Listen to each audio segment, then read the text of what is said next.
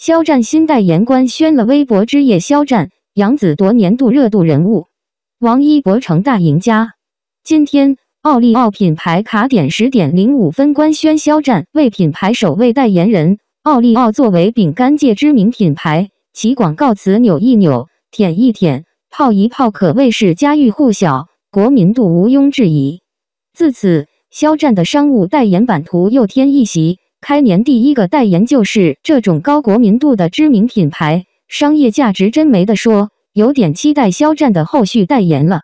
昨天，品牌方就开始预热代言人，从发出的代言人剪影来看，粉丝们一眼就认出了是肖战，于是粉丝们脑洞大开，玩起了看图猜谜游戏。不得不说，这届粉丝太有才了。除了官宣代言外，新剧《玉骨遥》也有好消息。成都文旅表示，玉骨遥将和梦华录一起进行全国线下主题展巡演。为了促进影旅联动，将影旅联动当做一个完整自成闭环的产业链来做。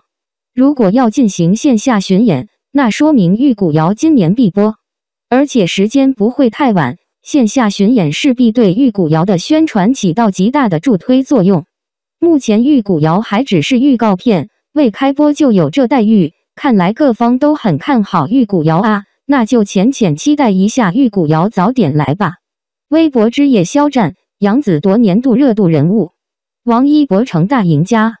两千零二十二微博之夜将在三月二十五日盛大开启，由网友投票评选出六个最受欢迎的年度最受欢迎奖项，最受欢迎的角色与电视剧全部被肖战、杨紫、王一博包揽。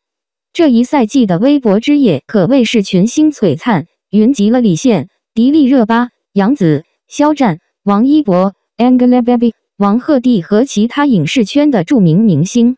每年的奖项包含了最受欢迎的人物、最受喜爱的人物、受欢迎的电影、受流行的电视剧和受欢迎的综艺节目，以及受欢迎的音乐。肖战、杨紫、王一博分别获得了最受欢迎的奖项。年度最受欢迎电视剧《余生》，请多多指教。肖战、杨紫《冰与火》，陈晓、王一博、杨紫和成毅的《沉香如屑》，沉香重华都被三个最受欢迎的演员包揽了，而杨紫的两个角色都是他的。不管是无名的电影，还是《冰与火》的连续剧，又或者是综艺节目，王一博都是最大的赢家。这就是嘻哈舞，还有像《阳光一样》这首歌。以及热门歌手都在榜单上，这说明这首歌的名气和实力并没有白费。